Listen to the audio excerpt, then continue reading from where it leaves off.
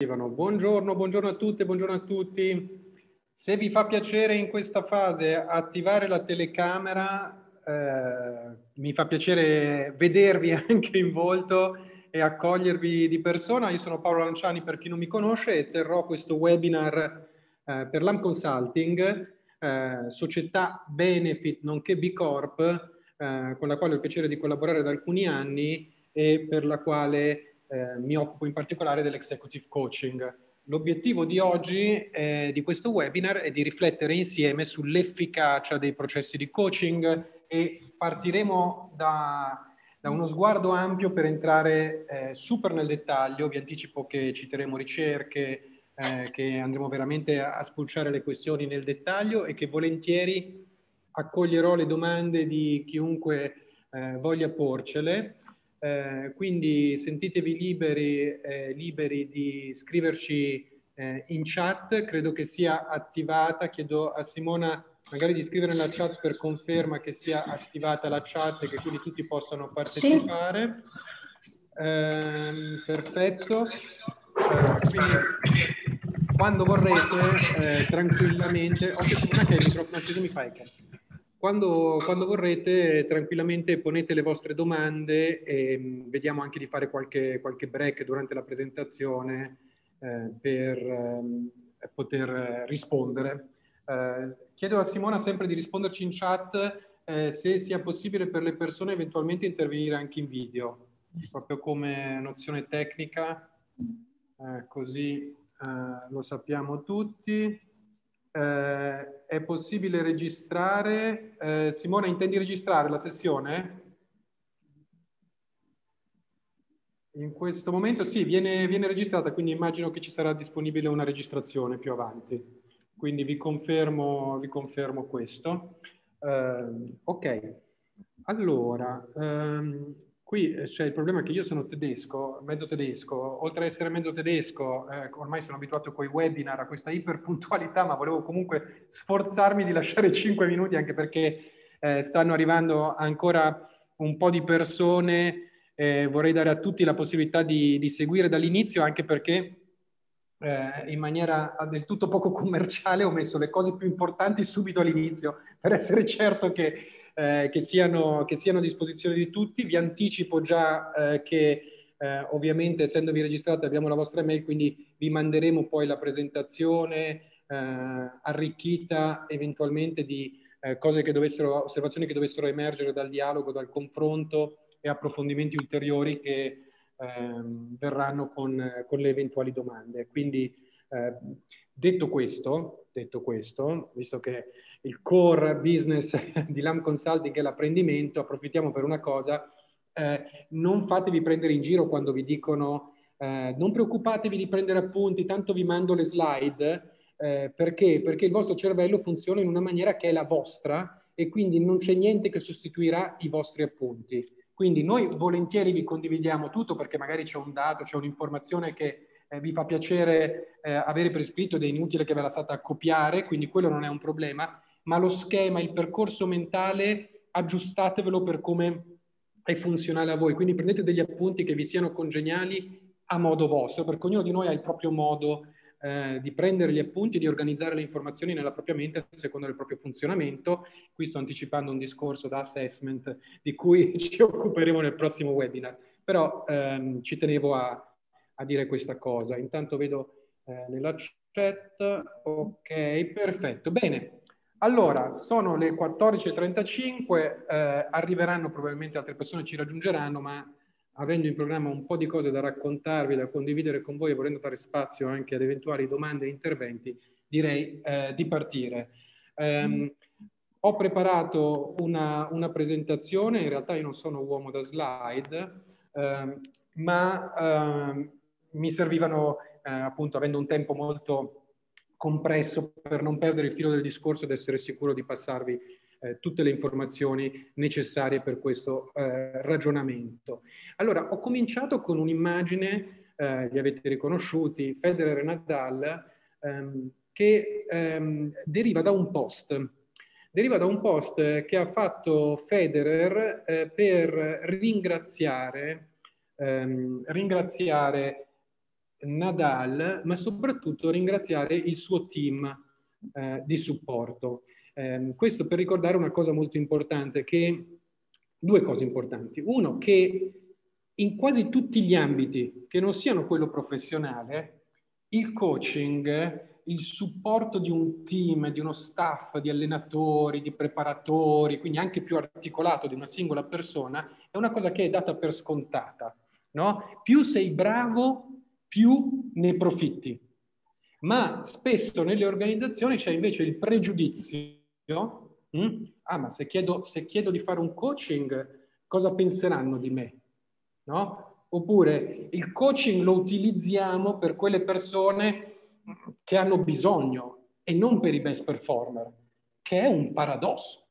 Ok? Quindi questo è per dire il coaching come lo intendiamo noi, almeno quello di cui parliamo oggi, è un coaching che è pensato come investimento, non come riparazione, non come eh, aggiusto qualcuno che non funziona e via dicendo. E poi capiremo anche quali sono le ragioni di questa affermazione e cosa dice la letteratura a riguardo.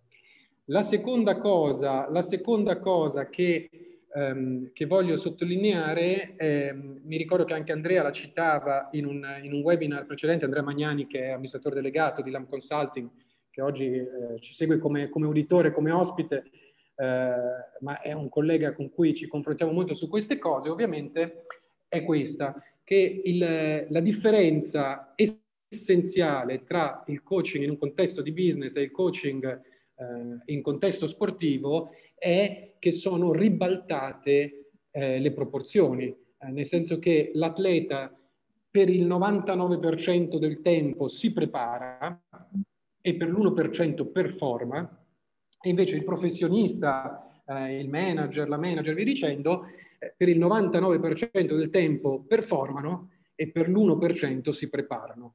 Quindi non possiamo prendere eh, quella metafora e trasferirla uno a uno. No? Quindi il grande allenatore di pallavolo eh, ha sicuramente grandissimi meriti sportivi, eh, ma ha una mentalità che prevede eh, un focus sull'allenamento che è sbilanciato rispetto a quelle che sono le possibilità eh, operative di una persona che è attiva in un contesto professionale.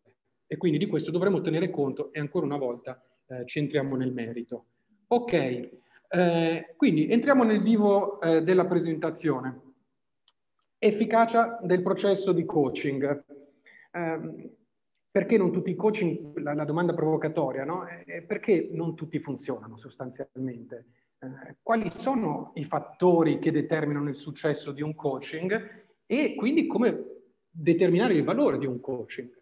Questa è la domanda da cui siamo partiti. Quando dico siamo, eh, ribadisco, eh, l'AM Consulting, quindi la società eh, che ci, ospita, che, ci ospita, oggi e, e con la quale abbiamo sviluppato e stiamo portando avanti eh, questo approccio metodologico che vi presentiamo oggi come chiave di lettura eh, e nel mio caso io cito solo per inciso ehm, il passaggio sul, sullo stakeholder center coaching di Marshall Goldsmith ehm, che come fanno gli americani si proclama il miglior coach del mondo.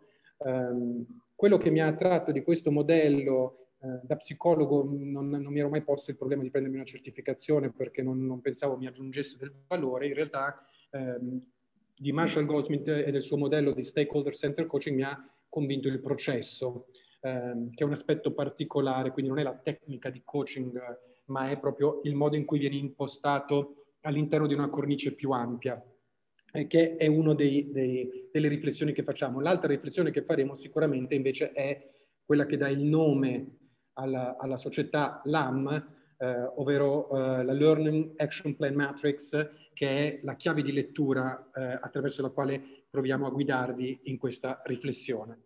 Allora, prima di tutto, come promesso, partiamo eh, da quello che è ehm, la cosa più, ehm, eh, più interessante, più importante, ovviamente sempre eh, per noi psicologi del lavoro, che è quello che ci dice la letteratura. Piccolo test, non vi faccio il poll, eh, ma vi chiedo di rispondere in, in autonomia. Quindi, eh, in letteratura, mh, mm, quindi non è una mia opinione, non è una nostra visione di società, ma è quello che eh, troviamo nelle ricerche. Nella prossima slide vi mostro anche le ricerche, ovviamente vi cito le fonti. In letteratura, che cosa risulta Per che cosa risulta essere efficace il coaching? Sviluppo di competenze, motivazione e atteggiamento, quindi aumentare la motivazione o migliorare l'atteggiamento, incidere sull'atteggiamento della persona che partecipa al coaching, sulla prestazione in senso più ampio. Mm? Quindi quando hanno fatto delle ricerche hanno provato a vedere su campioni molto ampi eh, qua, su quali di questi fattori sembra aver inciso in maniera più efficace il coaching, no? Perché una delle domande che ci stiamo ponendo è ma quando è che ci serve un coaching e quando ci serve qualcos'altro? E poi ci torneremo. Dopo vi do anche le risposte. Eh? Ok, seconda domanda. Chi profitta di più da un coaching? Quindi qual è il candidato, la candidata ideale da coinvolgere in un coaching all'interno della propria organizzazione? La persona con più potenziale, chi è più motivato, quindi chi ha la motivazione più alta a partecipare ad un percorso di questo tipo, la persona che è più convinta del proprio potenziale, quindi non un potenziale determinato, che ne so, da un assessment, ma una, un'autoconvinzione. Oh, caspita, io ho ancora un sacco di potenziale, penso di potercela fare, no? Quello che è il costrutto che in psicologia del lavoro chiamiamo self-efficacy. C'è un bellissimo test di Avallone che è gratuito dell'ISFOL che potete andare a recuperare a questo proposito, mi viene in mente. Ok, terza domanda. Quale caratteristica del coach impatta di più? Quindi è più predittiva di un successo in un processo di coaching. Quindi tiriamo in mezzo anche chi lo esegue questo coaching e non solo eh, l'organizzazione e chi partecipa. Quello che risulta più riservato, no? è più discreto, è più uh, confidentiality agreement, queste cose qua. Quello che risulta più trasparente come atteggiamento, quello o quella, scusate naturalmente, che risulta avere più esperienza di azienda, eh, nel coaching eh, e via dicendo. Allora, perché ho posto queste tre domande? Perché sono le uniche tre domande a cui la letteratura ad oggi sembra eh, dare una risposta eh, sulla quale ci sia un discreto accordo. Mm?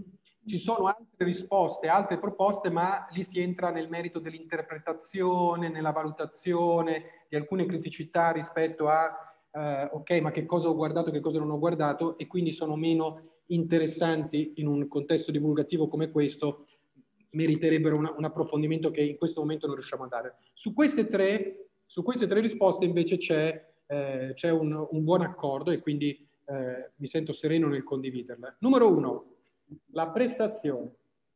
Mm? Quindi pare che il coaching sia lo strumento più adeguato per incidere sulla prestazione della persona coinvolta nel coaching. Un po' meno su, doman- su motivazione e atteggiamento, poco o niente sullo sviluppo di competenze. Mm? Per quello ci sono altri strumenti. Eh, numero due, chi profitta di più di un coaching? La persona che è più motivata a partecipare ad un percorso di coaching è la persona che ha un più alto senso di autoefficacia. Eh, per chi ha, ha, in mente o anche per chi non la conosce, vi segnalo Carol Dweck, eh, Domodossola W. Washington eh, eh, Empoli, Como, Colonia, però scritto Köln in tedesco. Quindi Carol Dweck eh, è una collega psicologa americana che ha lavorato sul growth mindset e fixed mindset. No? Quindi una persona che abbia un growth mindset, che abbia eh, l'idea di avere ancora del potenziale di apprendimento, che sia aperta all'idea di poter apprendere e abbia desiderio di farlo, è quella che ha più alta probabilità di beneficiare da un processo di coaching. La persona, e qui vi lascio fare riferimento alla vostra esperienza in azienda, la persona che pensa di sapere già tutto difficilmente profitta da un processo di coaching. No? Perché che cosa farà? Entrerà in quel processo con un atteggiamento di verifica. Vediamo se mi dice una cosa che non so. Vediamo se mi dice una cosa utile. Capite bene che eh, questa cosa ha eh, poco, poco valore e poco senso. Eh, Giuseppe mi dice non sento l'audio, mi date conferma che mi sentite? Sì, eh, spero che eh, per Giuseppe si sia risolto il problema, se no prova a uscire e rientrare perché eh, non, sembra non essere un, un tema diffuso. Um, segnalo poi l'ultima risposta, forse la più sorprendente, che è questa. Quale caratteristica del coach impatta di più? La riservatezza.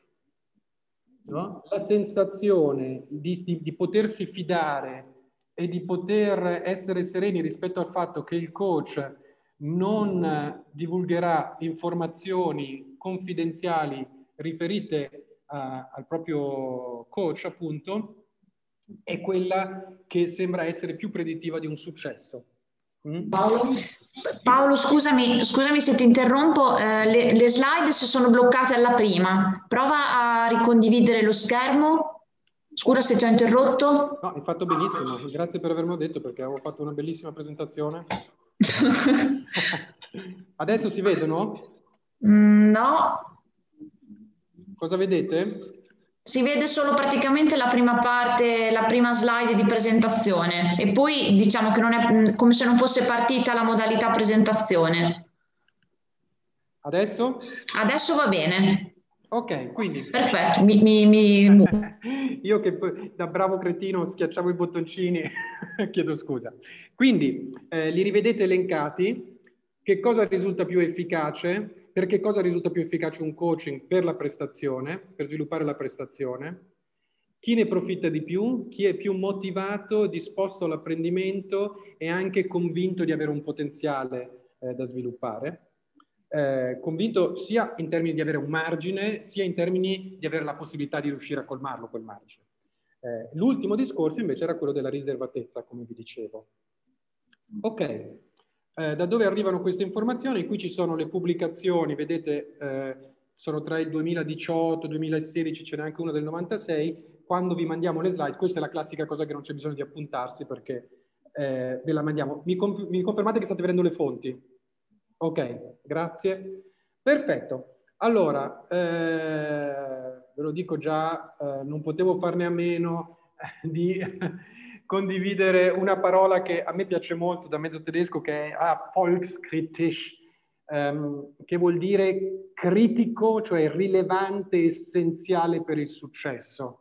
Quindi la riflessione che voglio condividere con voi è questa. Quali sono i tre fattori no, che sono determinanti per un successo eh, di un processo di coaching? Ora stiamo andando ovviamente oltre la letteratura ed entrando in un'analisi che, pur tenendone conto, è più qualitativa. Mm? Eh, e quindi ehm, proviamo a farci guidare eh, da lettura eh, per ehm, andare avanti in questa riflessione insieme. Allora, la scelta. Che cosa vuol dire la scelta? Eh, ricordate la prima risposta eh, che ci siamo dati, anzi no, scusate, prima di ricordarci della prima risposta che ci siamo dati, partiamo da questa cosa qua, perché alla fine la domanda che conta, eh, questo è Marshall Goldsmith, quello di cui vi accennavo prima, eh, che si nomina numero uno coach del mondo, o meglio è stato nominato così da varie riviste di settore, per quello che può eh, contare per noi. Ehm, e allora una domanda che eh, viene spesso posta quando si fa un processo di coaching, no? si dice vogliamo fare un coaching, quanto, quanto costa il vostro processo di coaching? Visto che non è una sessione commerciale, non vogliamo parlare di noi, vi dico quello che Marshall Goldsmith ha dato come indicazione a chi è certificato con lui per vendere il suo processo di coaching. Quindi ci tengo a specificare, questo non è una finestra commerciale nostra, ma riguarda un fornitore altro, quindi eh, non, ma ci serve per fare questo, questo ragionamento concreto. Allora, eh, ovviamente è la domanda sbagliata eh, se dobbiamo riflettere sull'efficacia del coaching, però la risposta ci aiuta, ci aiuta a entrare nel merito, ovvero, eh, dicevo, cosa risponderebbe Marshall Goldsmith? 24.000 euro. No? Il suo processo di coaching costa 24.000 euro. Ho visto qualcuno che faceva così, eh, non sono pochi, eh, ma per che cosa? Mm? 12 mesi. Il processo di coaching che propone Marshall Goldsmith dura 12 mesi. Sono 16 incontri da un'ora. Mm? Fatevi la vostra, la vostra divisione e capite che cosa si fa pagare all'ora. Peraltro vi dico una cosa, non è Marshall Goldsmith che si fa pagare 24.000 euro, ma sono i coach certificati da lui. lui si fa pagare tutt'altra cifra e secondo tutt'altro criterio. Perché? Perché Marshall Goldsmith non si fa pagare ad ore, non si fa pagare a processo, ma si fa pagare una proporzione rispetto al risultato ottenuto. E per cui a noi sembrava interessante partire da questo esempio per uscire dalla logica del quanto costa un coaching all'ora e quanto ha senso che costi un coaching all'ora ed entrare nella logica quanto vale un coaching, che è una cosa totalmente diversa, no? E anche qui dipende ovviamente. Dipende da quello che intendiamo per coaching e allora andiamo a prendere eh, due definizioni, ancora una volta non autoriferite, ma eh, una dell'ICF, che definisce il coaching come un processo in cui ehm, eh, si è partner in un thought-provoking and creative process, no? quindi una, una riflessione che eh, coinvolga e faccia arrivare a delle intuizioni, delle idee che ispirino il cambiamento sostanzialmente eh, nella persona. Questa è la definizione che l'ICF mette sulla propria homepage. Eh, ho preso poi l'associazione di coaching Italia, eh, non, non consideratelo un endorsement, ma semplicemente eh, per andare a prendere una cosa che possiamo recuperare da fonte terza. Qui spe loro specificano varie forme di coaching, tra cui il business coaching, che è quello che è rilevante in questo nostro contesto, è un metodo di sviluppo delle risorse fondate sul presupposto dell'unicità di ciascun soggetto, e questo è stato uno dei motivi che ci ha reso simpatica eh, questa informazione, questa, questa definizione, ed è sempre orientata all'operatività finalizzata al raggiungimento di obiettivi specifici e concreti. Mm? Quello che in questa definizione non viene ampliato, esplorato ulteriormente è di che, quali obiettivi stiamo parlando. E qui spesso casca l'asino. Mm? Casca l'asino anche perché, se vi ricordate quello che abbiamo visto in letteratura, il punto è se tu poni un obiettivo che non è adeguato allo strumento del coaching, hai un problema, ma ancora prima, se non hai definito qual è il valore che tu attribuisci a quel processo, non sappiamo di cosa stiamo parlando. Mm? Come possiamo farlo? Eh, da questo eh, modello. Voglio essere sicuro che eh, lo possiate vedere. Um, questo è il processo attraverso il quale veniamo guidati in LAM eh, nella definizione eh, di un qualunque intervento, eh, che sia di coaching, che sia di consulenza, che sia di assessment e via dicendo. Quindi non è specifico eh, del coaching, ma si applica anche al coaching. Vedete che ci sono due riquadri ehm, definiti e sottolineati in particolare, che sono gli obiettivi strategici intesi aziendali, mm, quindi cosa deve ottenere l'azienda, e gli indicatori d'effetto, ovvero quali sono quei KPI, quelle metriche che mi indicano che sono stati raggiunti quegli obiettivi. Tutto questo non ha nulla a che fare ancora con quale sia la soluzione identificata. Um, è molto importante distinguere queste fasi e quando queste fasi non sono eh, rappresentate eh, in un mandato di coaching, eh, la probabilità che quel coaching risulti effettivamente un successo è bassa, è bassa perché è un evento casuale, ma non causale. No? Cioè non si è determinato che quel coaching serve a quella cosa lì. Eh, ma, esempio che vi posso fare eh, classico è, ehm, sono stato coinvolto eh, da una multinazionale eh, per seguire una persona, eh, mi è stato proposto di, di, fare un ragionamento su, un'offerta, su, su un coaching per una persona in una posizione di leadership e il punto era eh, questa persona eh, non trattava in maniera inclusiva le persone del proprio team. Ovviamente su questo loro mi hanno preso perché è un tema che a me sta molto a cuore ehm, e sul quale mi spendo anche pro bono, abbiamo dei progetti e via dicendo. E quindi sono stato subito molto interessato a questo mandato. Il problema qual era? Che questa persona invece contribuiva in maniera drammaticamente, dico io, significativa al successo commerciale della propria business unit. Mm? E quindi quando io gli ho detto, ma scusate, se questa persona è così disallineata rispetto ai vostri valori, perché non la sostituite? La risposta che è arrivata da HR è non abbiamo nessuna possibilità di sostituire questa persona o mandarla via per questo motivo. Mm? Allora voi capite bene che avventurarsi in un processo di coaching in quel caso lì sarebbe stato surreale. Sarebbe stato surreale. Perché il processo di coaching è del tutto staccato, è del tutto staccato dagli obiettivi strategici e dagli indicatori d'effetto dell'azienda. Nel senso che anche se avessimo avuto un successo eccezionale, nella migliore delle ipotesi non avremmo danneggiato la prestazione commerciale eh, del, nostro, del, nostro, beneficiario del processo. Quindi in quel caso lì io ho raccomandato eh, di eh, lavorare in altra maniera, nel senso che eh, non avrebbe avuto nessun senso accogliere quel mandato.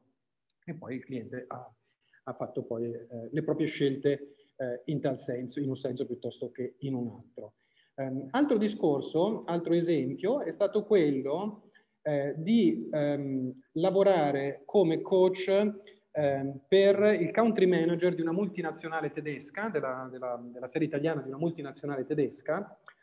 Ora per chi non è eh, magari in un contesto multinazionale eh, specifico questo, questo passaggio perché credo che sia essenziale, um, quando tu sei country manager di una, di una multinazionale, um, tu in Italia eh, sei molto importante, eh, ma rispetto a casa madre non è detto che tu sia altrettanto importante. Spesso sei considerato, il, soprattutto l'Italia purtroppo, eh, il commerciale eh, di una region eh, con un mercato eh, relativamente poco appetibile e eh, anche molto controverso sotto il profilo della compliance. Pensate ai tedeschi, al tema della puntualità, eh, del rigore, dei pagamenti e via dicendo.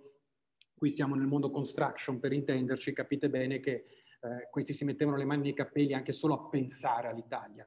Ok, quindi questa persona aveva questa doppia identità. In Italia era il CEO, in Germania era il commerciale del paese Rogna. Mm? Quando è andato una volta a un sales meeting in Germania, gli hanno detto, guarda, sai, tra l'altro eh, devi tagliare il 50% delle persone perché la performance non è in linea con il nostro forecast. Bene, eh, voi sapete come funziona questa cosa, riorganizzazione sono due anni in Italia, lui è tornato in Italia, ha chiamato per prima cosa il giuslavorista, col giuslavorista ha determinato una persona che avrebbe tenuto sicuramente che era il CFO, in questi tre qua hanno iniziato a disegnare un progetto di riorganizzazione molto complesso e molto faticoso. In questa circostanza, sono stato coinvolto, lì c'era il tema che io fossi bilingue, tramite un nostro partner tedesco, ehm, sono stato coinvolto da casa madre, che inizialmente mi ha coinvolto per dire aiutalo in questo momento difficile, ma per intendere, dici che cosa succede, no? fai, fai, da cane da guardia sostanzialmente. Sì, la nostra quinta colonna in, in Italia, ehm, poi lavorando eh, su una ri, ristrutturazione del mandato e via dicendo, uno gli ho rappresentato quello che vi ho fatto vedere all'inizio, che se non c'è fiducia eh, di segretezza, poi io sono psicologo, quindi sono anche tenuto a segreto professionale, quindi ho detto col cavolo che ti dico quello che dico, di cui parlo con, con il mio coach. Eh, comunque, con i tedeschi, poi da mezzo tedesco so anche come ragionarmela, insomma, me la sono cavata, siamo riusciti ad avere un mandato che fosse diverso, ovvero quali sono gli obiettivi a valle del processo di ristrutturazione e quindi come possiamo iniziare a lavorare sotto traccia per essere pronti tra due anni quando finalmente si potrà partire. In questa logica qua, quindi lavorando su degli obiettivi strategici, iniziando a definire dei KPI precisi, abbiamo potuto impostare un processo di coaching che avesse un senso. In questo caso, peraltro, abbiamo capito che per forza doveva essere un processo di coaching e non di consulenza, perché intorno a noi c'era tutta un'organizzazione che stava cambiando. Cioè cambiavano le persone del board per intenderci e non lo sapevano ancora. Poi immaginate lo stress a cui è sottoposto una persona, deve continuare a dire andrà tutto bene, andiamo avanti così, tranquilli, ce la facciamo e poi purtroppo dobbiamo rinunciare a. E poi di nuovo andrà tutto bene, ormai siamo noi, andiamo avanti per due anni.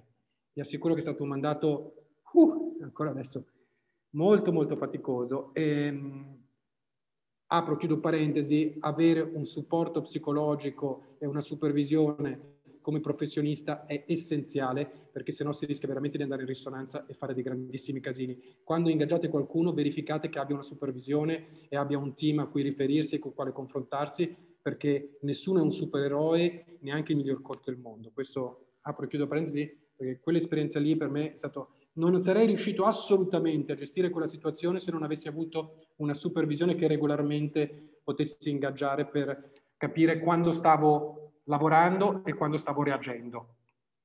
Ok, quindi l'altra provocazione che vi lancio è questa. Eh, abbiamo visto prima quella cifra, 24.000 euro, no? e ci è sembrata così campata per aria, non ha senso. Allora, il punto è un coaching che non abbia la prospettiva di restituirci il 1000% non è, non è un coaching che ha senso di esistere. Non è un intervento di formazione che ha senso di esistere, non è un intervento di consulenza, non è niente. Niente ha senso di esistere se non ci garantisce un impatto sul business che sia 10 volte la spesa. Mm? 1000% eh, sono 10 volte la spesa. Che capite bene, poi dipende dal contesto, dipende dalla situazione, un conto è la PMI, eh, un conto è la multinazionale, ovviamente le leve sono diverse, quindi le proporzioni sono diverse, ma per darvi un, un, un, un riferimento. No? Questo perché? Perché ancora una volta è vero che non c'è una relazione lineare tra quello che è l'intervento sulla persona e quello che è l'impatto, cioè non è perché c'è stato il coaching allora succede che, ma se non pensiamo che sia un fattore determinante per incidere sui numeri dell'azienda, stiamo facendo un'attività che è un nice to have. E quello è il commitment che avremo. Abbiamo visto che il commitment è un elemento fondante.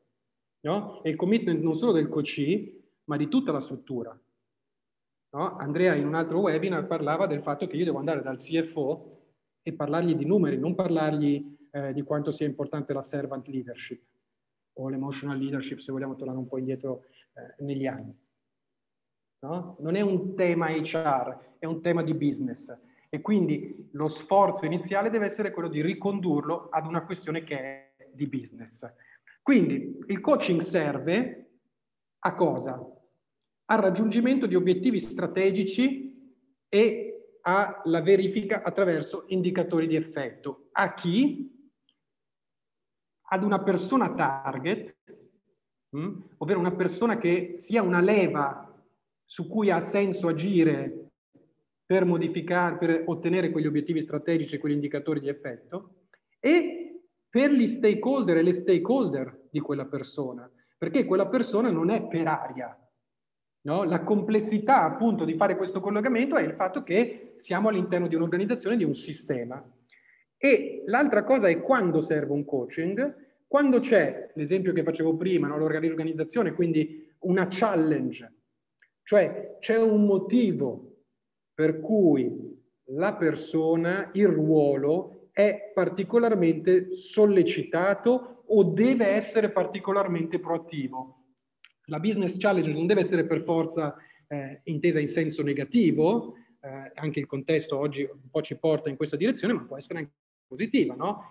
Dobbiamo raddoppiare il numero delle persone, dobbiamo raddoppiare eh, le quote di mercato eh, dobbiamo includere una, e integrare una nuova business unit piuttosto che, queste sono tutte challenge che richiedono uno sforzo eccezionale. Mm? E qui stiamo un po' anche anticipando, e, e vi ricordo il, a cosa serve, no? Serve a incidere sulla prestazione, ci dice la letteratura, non sull'apprendere una nuova competenza.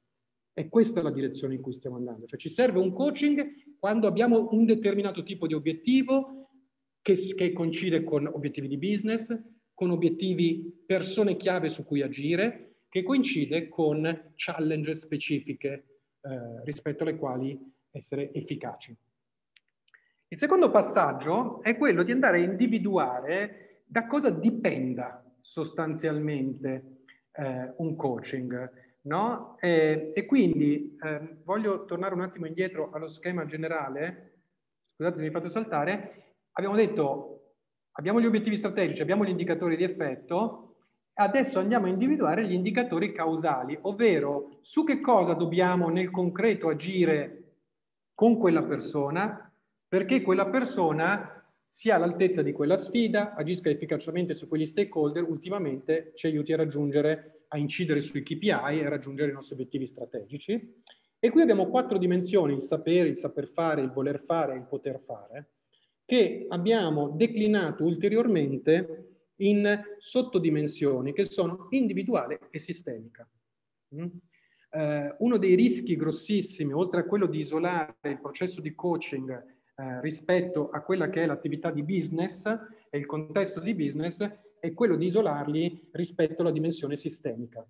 Mm? Questo perché ovviamente quando ci concentriamo entriamo in maniera verticale, andiamo in maniera verticale eh, sulla questione e rischiamo di perdere per strada eh, quello che è il contesto, eh, quasi determinando il fatto che quella persona sia in ultima analisi responsabile in prima persona di tutto. Eh, voi sapete benissimo che uno dei limiti grossi della formazione, eh, degli assessment, eh, se avete mai fatto eh, delle esercitazioni o dei business case, uno dei grossi limiti è che tu metti lì un candidato a fare una grandissima esercitazione, adesso io farei così, poi farei cos'ha, poi scrivo a quello, poi faccio quell'altro, ma quando sei in azienda questa cosa vale quanto il 2 di pick, perché se dall'altra parte ti risponde una persona svogliata che quel giorno lì non ha voglia di fare, tu non combini niente. Se quell'email che tu hai mandato eh, l'hai mandata a cinque persone e nessuna di quelle cinque persone ti risponde, tu hai un problema. Se SAP ti eh, mette un veto rispetto ad un'attività e tu non, non, sai che cosa farci e quindi dici vabbè non si può fare perché SAP ha detto di no, caspita saremmo tutti falliti come aziende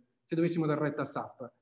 No? L'arte del management è riuscire ad aggirare i sistemi gestionali e i vincoli che ci pongono i sistemi gestionali, che giustamente ragionano secondo una norma, secondo una regola. No? Ma il coaching non ha a che fare con l'essere adeguati alla regola, ma col fatto di accettare una sfida che richiede un'eccezionalità e quindi una capacità di interagire con il sistema. Mm? Oggi non possiamo entrare nel merito delle quattro dimensioni, eh, ma ve le ho volute comunque indicare, anche perché qui in molti casi siamo persone esperte di HR, quindi in grado a partire da qua da fare già dei, dei processi e delle riflessioni che possiamo volentieri continuare poi. Ok, eh, quindi questi sono gli indicatori causali. Poi, come la sintetizziamo questa cosa? In questo modo qua. Sapere non inteso come acquisizione di nuove informazioni, ma di metabolizzare il proprio sapere, di renderlo qualcosa di proprio di, di, di veramente profondamente integrato nel nostro agire, di comprendere in autonomia quali sono i gap che posso avere o quali sono le ricerche e le cose che devo approfondire. Ma non è il coach o il coaching che approfondisce. Il coach e il coaching sollecita questa dimensione che però, e da qui il discorso del desiderio di apprendimento e della motivazione, è il coach che in automatico sviluppa questa dimensione. Allora, l'altro è il saper fare, quindi anche qui non è una cosa che si fa insieme, vi ricordate quello che ho detto all'inizio, non è 90%, 99% allenamento e 1% performance, qui il tema è dare alla persona uno spazio preziosissimo di stare a bocce ferme a riflettere su quello che sta succedendo. E quindi il saper fare non è allenato nel senso di facciamo le prove, facciamo gli esercizi, alleniamo una competenza, tant'è che abbiamo detto il coaching non è efficace sulle competenze, ci sono altri strumenti per quello che sono più efficaci, ma è un tema di, ok, devo riflettere sul mio agire, devo progettare, devo capire, ok, da un punto di vista strategico, come posso affrontare i prossimi sei mesi, chi devo ingaggiare, su cosa, come posso monitorare l'efficacia di quello che sto facendo. È sostanzialmente la centrale di controllo che noi attiviamo con una persona, dandole, ed anche lì la possibilità appunto di avere quello spazio di confidenzialità assoluta, dove si può dire anche la peggio cretinata o la cosa anche politically incorrect o eh, che sembra sbagliata nelle, o lamentarsi di qualcosa rispetto all'azienda, sapendo che siamo in uno spazio tutelato e che ci permette di digerire quella cosa, di andare oltre e di ritornare in pista. In pista per fare cosa? Per fare salto di qualità e per passare da una logica eh, che è quella della motivazione strumentale. Cosa, voi sapete c'è la motivazione estrinseca ed intrinseca. Motivazione estrinseca è quando c'è un fattore esterno che mi motiva, no? ti do dei soldi, ti do l'incentivo, fai una cosa. Herzberg già negli anni 70 dice questa non è motivazione, appunto è incentivazione, eh, ma non, non produce movimento perché nel momento in cui finisce l'incentivo finisce il movimento. Se invece io imparo a fare una cosa, ehm, quella cosa eh, mi spinge a volerla fare di più perché la so fare, mi piace farla, mi dà gusto farla. Allora, ehm, esiste una, una, una, fase intermedia che è molto tipica delle aziende, poco esplorata, che è quella strumentale, ovvero decido di essere efficace, di, di, di offrirmi come project manager perché questo mi farà poi domani diventare eh, head of uh, business unit leader piuttosto che, no? Ma devo passare di lì, non ho voglia di farlo. Pensate, ho lavorato tanto con Eni, eh, quelli che sono costretti ad andare a lavorare sulle piattaforme petrolifere. Non è l'ambizione tipica delle persone andare a lavorare sulle piattaforme petrolifere per un giovane ingegnere, ma sanno che quello è un passaggio di carriera necessario. Poi cosa succede? Su quelle piattaforme qualcuno scopre che si diverte e che gli piace, impara a farlo impara, è sollecitato dalla dimensione adrenalinica anche sfidante Mm, e finisce per passare da quella che è, una, che è una motivazione strumentale ad una vocazione vocazionale. Quindi ci sai che c'è, io non voglio più venire a lavorare al quartier generale, io voglio rimanere sulle piattaforme petrolifere. Altri invece rimangono in quella fase lì e quindi va bene così. Infine poter fare. Allora qui la dimensione è molto importante e ovviamente stiamo parlando di executive coaching in questo caso, ma anche di middle manager che iniziano ad avere un ruolo di responsabilità importante e rappresentativo, il tema non è decidere se l'azienda fa bene, fa male, giusto, sbagliato, se siamo d'accordo o non siamo d'accordo, ma la nostra capacità di pensare in una logica business oriented, svincolata dallo specifico ruolo, dalla specifica responsabilità, la capacità di gestire il fatto che ci sono cose che non sono ideali, ma vanno gestite proprio perché non sono ideali, proprio perché non funzionano, dobbiamo essere efficaci nel gestirlo, e vanno sapute rappresentare alle persone verso, quali, verso, le quali si hanno delle responsabilità. Ecco, queste capacità qua, quindi non è il fare in modo che l'azienda faccia quello che è giusto o migliori o faccia, ma è la nostra capacità di essere rappresentativi, di essere intelligenti, quindi non in senso astratto, ma organizzativamente intelligenti e commercialmente intelligenti. Ok, quali sono i prerequisiti, quali sono le chiavi che ci servono di lettura, il processo che ci può essere utile per essere efficaci in un processo di coaching? Quindi il coaching serve se il coaching serve se ci sono determinati prerequisiti. Qui ancora una volta mi riferisco al buon uh, Marshall Goldsmith che ha individuato questi tre e che in qualche modo ci richiamano a quello che dice la letteratura. Uno, umiltà.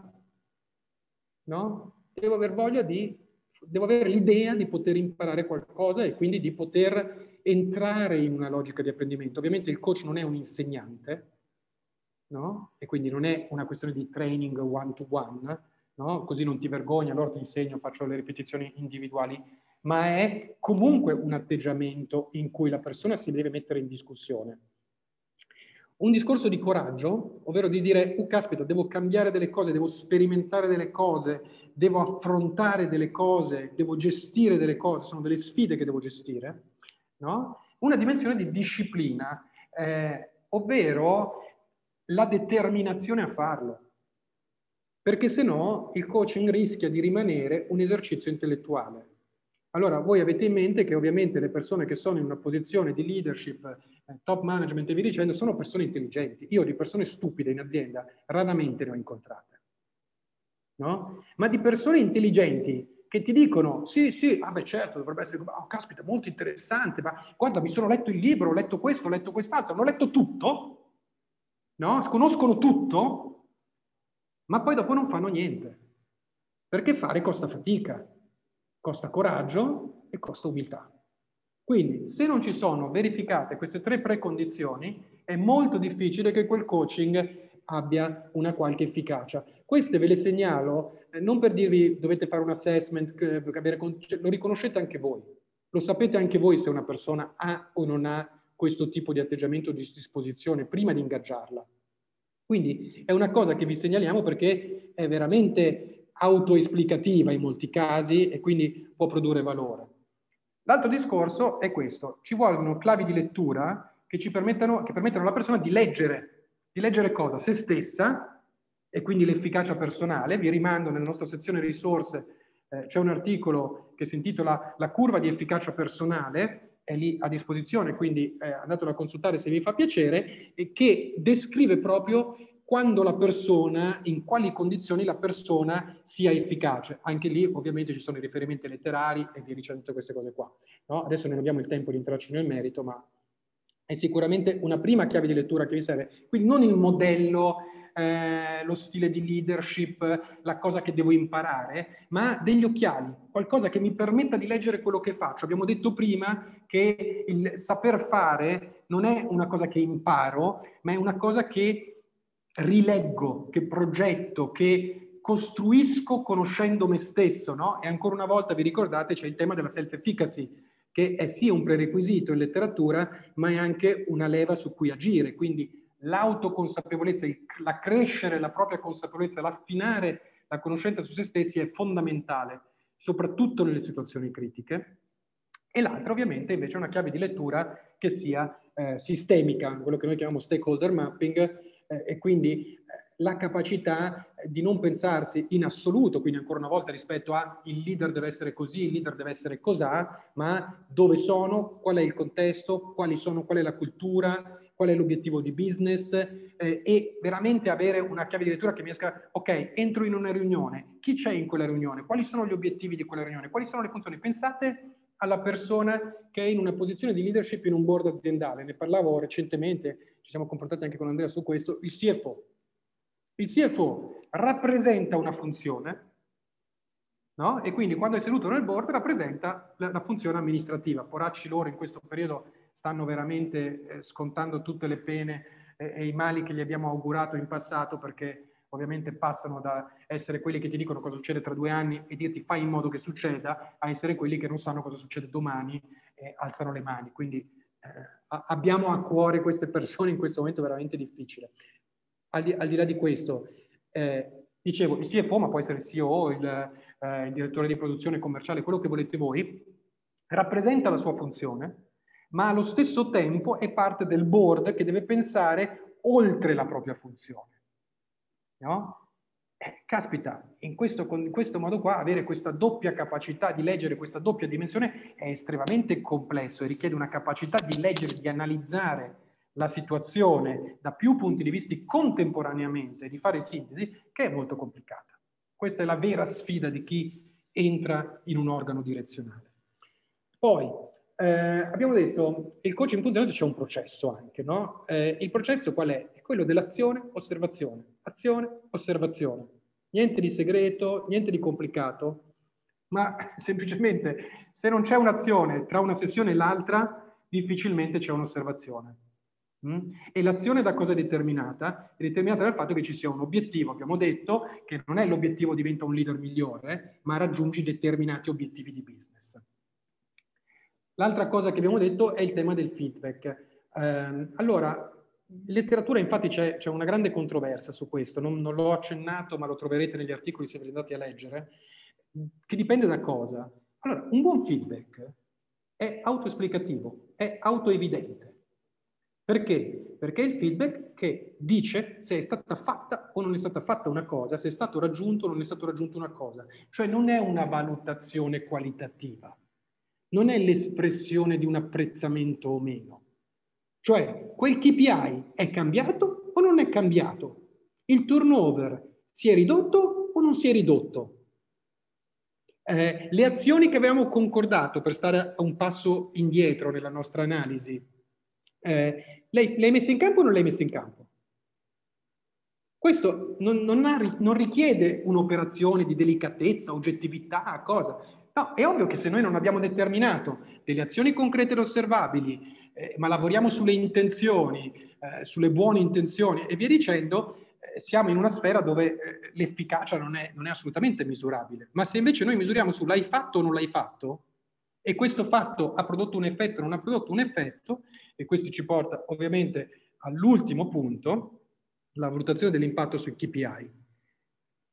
No? E questo qui, ancora una volta, è un ciclo, nel senso che non è che l'hai fatto, non ha prodotto effetto, fine lì. cerchiamo di riprendere un'analisi perché quel processo di analisi, di macroanalisi che parte dagli obiettivi aziendali e va a definire un'azione è il macro processo che fa HR o che fa l'organizzazione in senso più ampio ancora nel determinare se scegliere un processo di coaching e eh, che tipo di processo di coaching, ma è anche quello che deve succedere nel coaching.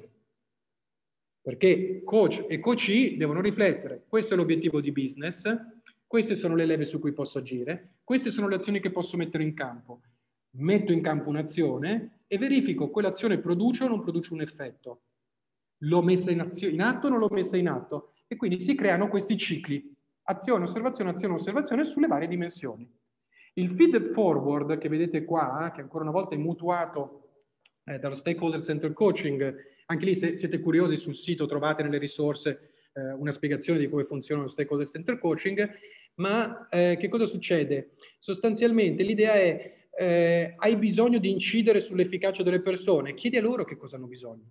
Vi faccio un esempio concreto, eh, questo in un contesto legal, quindi all'interno ehm, della, della, funzione legal di un'azienda, ehm, il, il General Counsel ha l'obiettivo di sviluppare meglio le proprie persone. Eh, voi sapete che sono strutture eh, relativamente compresse quelle del legal, eh, quindi non hanno molta profondità, quindi è molto importante che le risorse sotto il General Counsel acquistino una seniority eh, che tolga lavoro alla consulenza e lo porti internamente e soprattutto che la rega molto fruibile ehm, dall'azienda.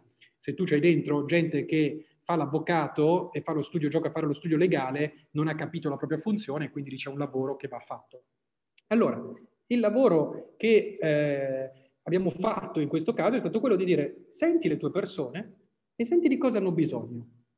Queste persone gli hanno detto, una di queste persone gli ha detto guarda, a me servirebbe che quando io eh, scrivo un documento che secondo te non va bene perché non è comprensibile al business e via dicendo, tu invece di metterti lì e riscriverlo con me, perché lui comunque era molto attento e, e proattivo nel, nel, seguire le proprie persone, no? E quindi si metteva al computer, vedi qua dovevi scrivere così, qua dovevi scrivere così, e riscriveva il, il, documento sostanzialmente. Dice, invece di fare così, per favore, fai un'altra cosa, segnamelo sulla carta, così che sia io a doverlo riscrivere.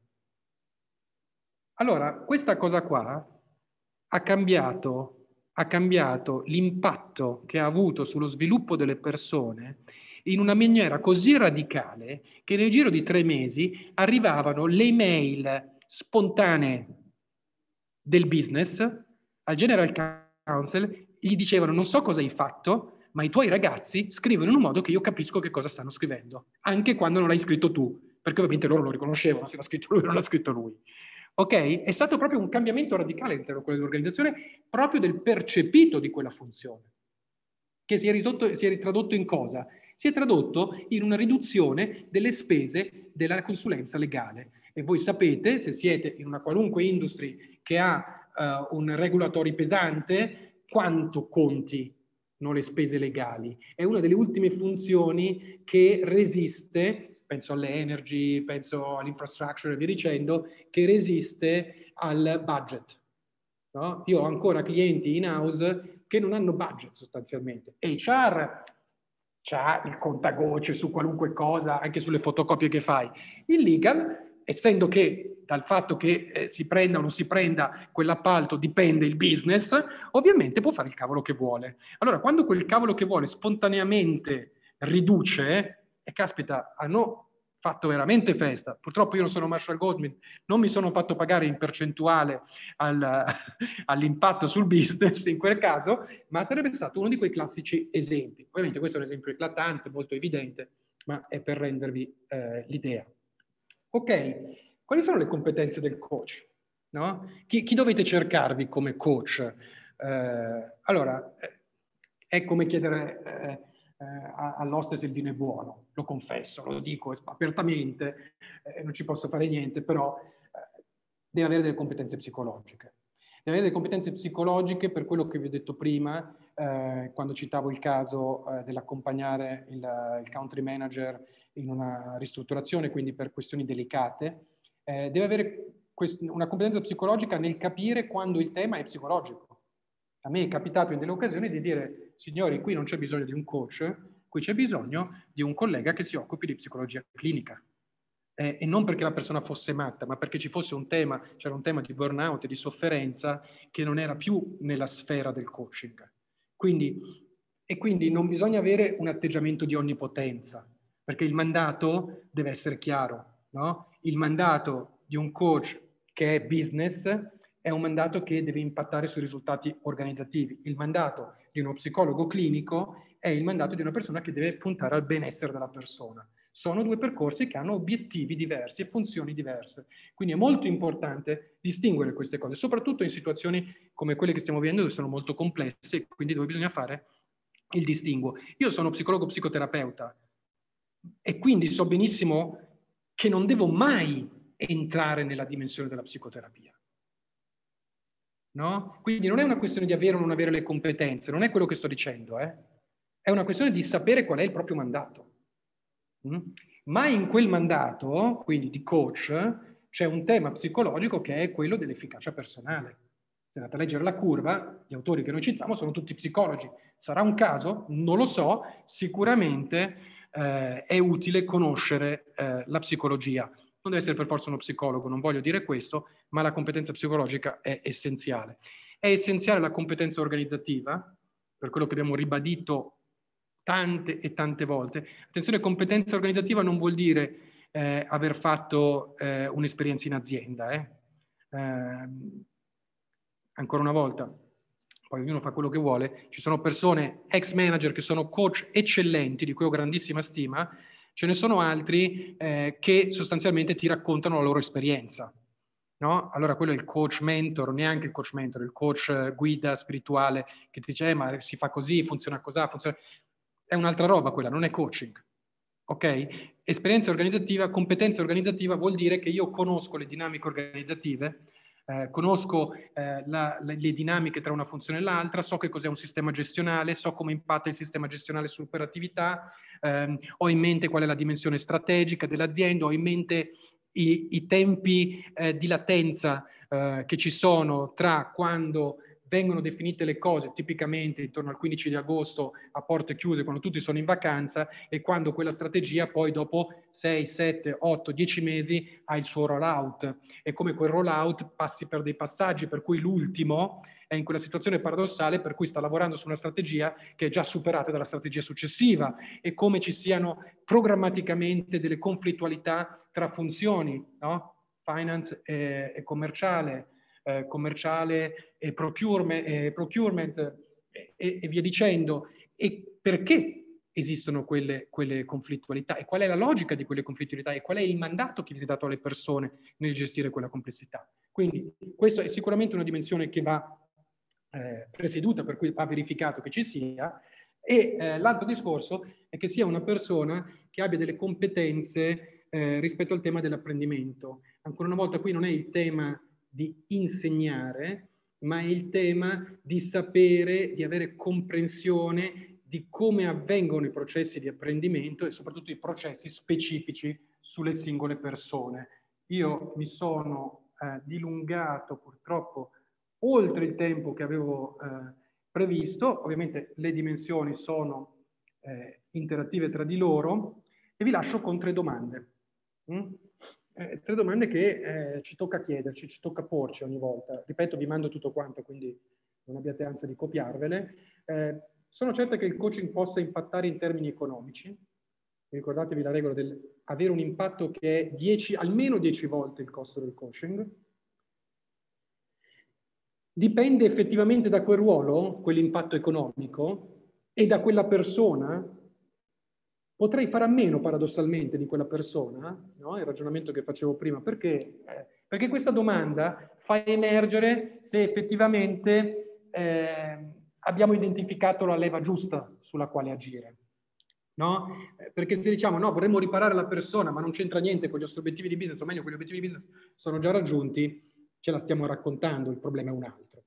E l'ultimo è, ehm, c'è il potenziale necessario? E il potenziale necessario sono i prerequisiti di cui ho parlato prima, termini, in termini personali, no? la self-efficacy, la motivazione, la disponibilità all'apprendimento, ma anche in termini organizzativi, ovvero il fatto che l'organizzazione abbia identificato l'obiettivo, è lo strumento prima del mandato.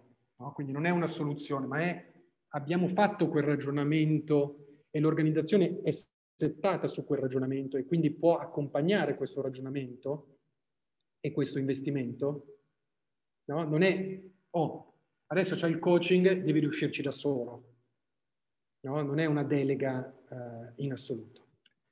Ok, eh, questi sono i contatti, ripeto, eh, un po' li avete, un po' ve li, ve li rimanderemo. Qui abbiamo messo eh, l'ormeggio perché abbiamo fatto un omaggio ad Andrea, eh, che è un velista appassionato ultimamente. E torno in una modalità eh, visivo. Ringrazio Angela che mi ha fatto compagnia con la telecamera perché almeno ho avuto un volto che mi desse ehm, dei feedback, però vedo che siete, siete ancora in molti collegati, quindi se ci fosse una domanda, un commento, una curiosità, una, una, richiesta di approfondimento che ovviamente non possiamo fare in questo momento, ma che volentieri integriamo poi eh, nel materiale che vi manda Simona, eh, questo è il momento, un momento ottimo per farlo. Ovviamente ci potete scrivere in qualsiasi momento, ecco. ormai siamo tutti iperconnessi. Quindi lascio a voi la parola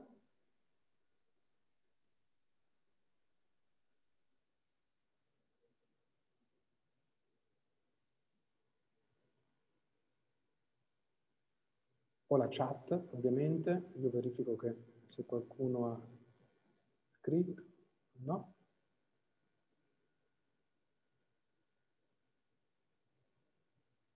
Ciao Maurizio, intanto vedo persone. Ok, grazie, grazie a te Sara del feedback. Oh, qui si sta... Sono io che ho condiviso questa cosa, non credo. Sì, mi sa di sì, Paolo. No? No? No. no, no. Qualcun altro ha voluto condividere qualcosa con noi. Vi segnalo che state condividendo qualcosa. Non sono io, eh.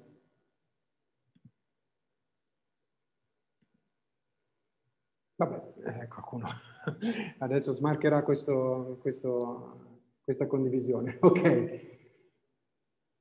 Ah, ecco, guarda che arriva una domanda eh, da Denisa. Nel caso in cui il coach non fosse uno psicologo e comunque raccomandata la supervisione durante il mandato, assolutamente sì. Grazie Denisa per la domanda. Eh, ovviamente il, il, il, tema della supervisione non è prerogativa dei, degli psicologi e quindi è assolutamente raccomandata. Grazie, grazie mille per la domanda. Quindi, anzi, soprattutto se non si è... No, non è vero, comunque. Eh, quindi il coaching non può essere una risorsa interna. Ottima domanda. Eh, non riesco a ricifrare il nome, eh, chiedo scusa. Eh, allora, il coaching può assolutamente essere una risorsa interna. Eh, Marco, ok, grazie. Eh, Marco, il, essere, il coach può essere assolutamente una risorsa interna, dipende dagli obiettivi eh, e dipende molto dalla costellazione. Allora, come per il mentor, la regola è che non può essere in una linea gerarchica diretta, eh, neanche a tre livelli di distanza. Quindi deve essere una persona di un'altra business unit eventualmente, eh, è sconsigliato che sia un HR per quel tema che abbiamo detto prima dell'efficacia, ovvero il fatto che c'è un tema di confidenzialità. Eh, no? E allora eh, c'è un conflitto di interessi eh, se io confido una cosa eh, a qualcuno di cui io abbia il sospetto. Io non sto mettendo in discussione l'eticità della persona che fa il coaching internamente, a prescindere dal ruolo, dal ruolo dalla funzione, anche dalla, dal contesto gerarchico, ma del legittimo pensiero che viene a me come coach, pensando, sto dicendo questa cosa qua a uno che poi determina eh, le ferie, le cose, le promozioni, parla con eh, e via dicendo. Questo retto pensiero rischia di essere un freno, in questo senso qua.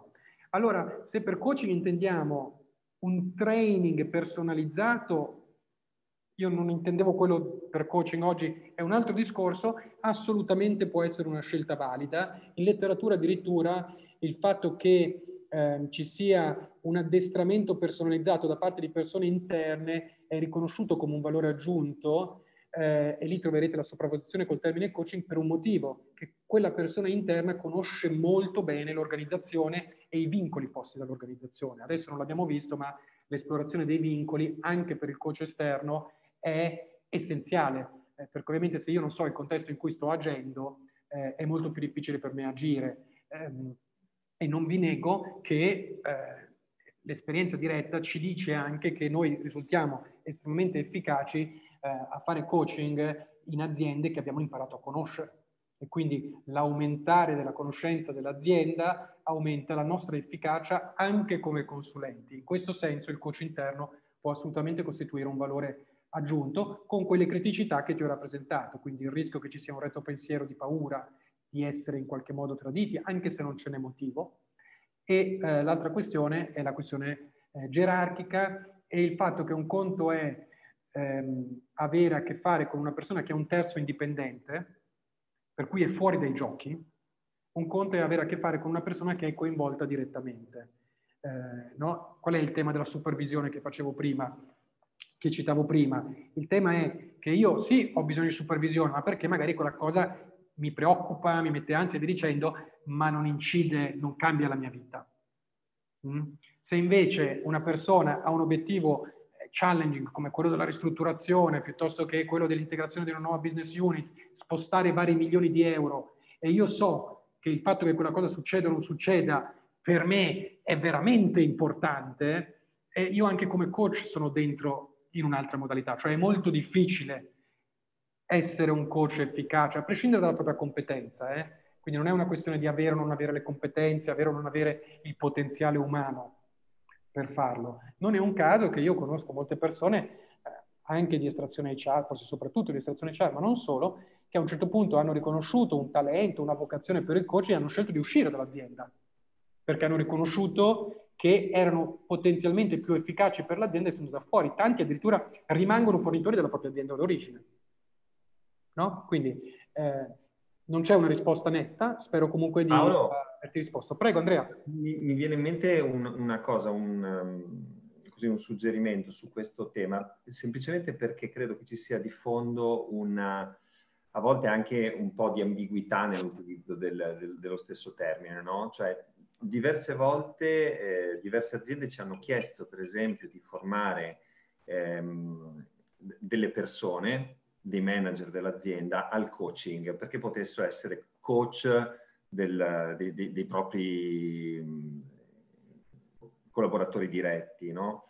E adesso chiaramente tu sei orientato a parlare veramente di coaching, no? Quindi è chiaro sei in una modalità di pensiero non hai pensato evidentemente a questa cosa, ma lì è semplicemente perché ci sono delle competenze di base del coaching, definizione, come guidare una persona in modo maieutico, diciamo, no? Per togliere un po' quell'atteggiamento di persone che ricoprono una funzione manageriale senza avere una preparazione manageriale e quindi un po' tendono a imporsi, no? Allora voglio sostituire quel, quel tipo di, di, managerialità con una più maieutica. Guido le persone a definirsi gli obiettivi, guido le persone a definirsi una strategia per raggiungerli.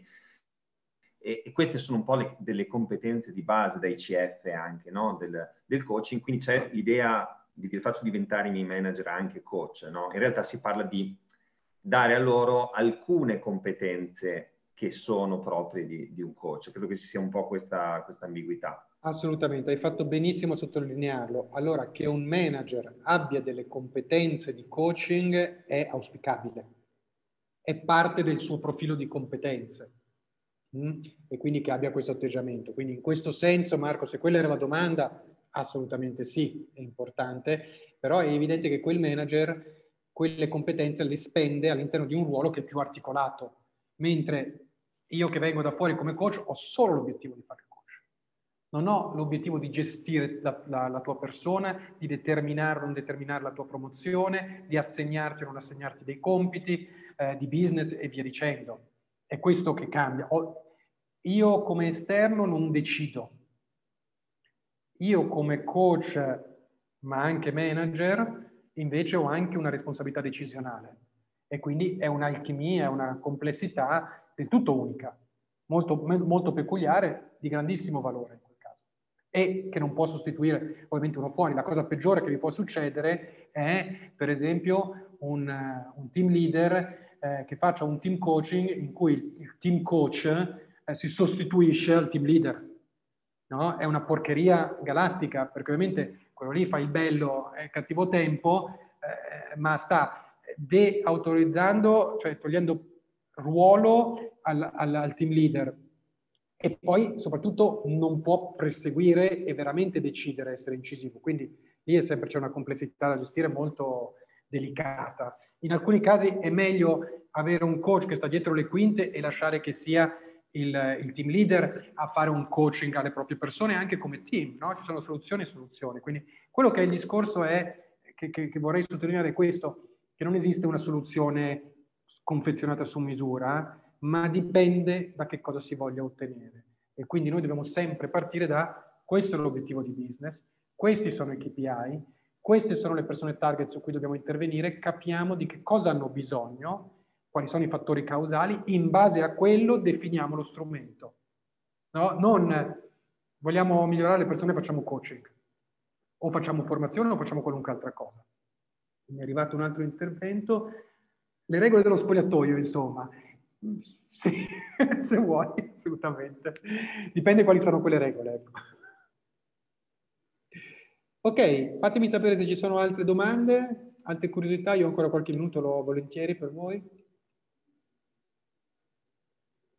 Se, se, vi hanno sorpreso o meno, per esempio, i findings, scusate il termine inglese, eh, del, eh, delle ricerche che vi ho rappresentato, eh, mi fa piacere saperlo. Anche lì vi cito la metafonte, eh, perché è un lavoro che mh, trovo molto interessante e molto nobile, quindi mi fa piacere citarli, colleghi di Science for Work, Scienza per il lavoro in inglese.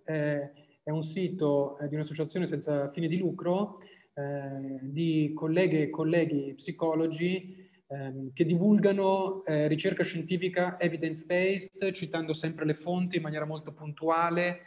Ehm, ci sono alcuni se alcuni ma sul tema dell'evidence-based, eh, che ovviamente vanno considerati, ma comunque è un lavoro lodevole. Ehm, intanto che aspettiamo qualche eventuale domanda, vi racconto anche come nasce questo gruppo. Eh, ciao Marco, grazie a te, grazie a tutti per, per la partecipazione. Eh, loro sostanzialmente erano un gruppo di studenti eh, di psicologia che a un certo punto vedeva su LinkedIn che c'erano tutti questi proclami, il capo, no, il coach, eh, lo stile di leadership, l'Harvard Business Review, diceva, cioè, ma come mai sta gente qua pubblica queste cose e non sa da dove arrivano e non sa se sono vere o non sono vere? Eh, noi stiamo studiandole, queste cose dicono altro, proviamo a divulgare quella che è la vera conoscenza eh, strutturata, scientifica, via dicendo, hanno costituito questo gruppo di lavoro ancora da studenti, questi sono da neolaureati, hanno tutti trovato ovviamente subito eh, posti di lavoro molto interessanti, chi in consulenza, chi in azienda, eh, quindi eh, tanto di cappello a tutte queste persone che ho avuto anche il piacere di incontrare.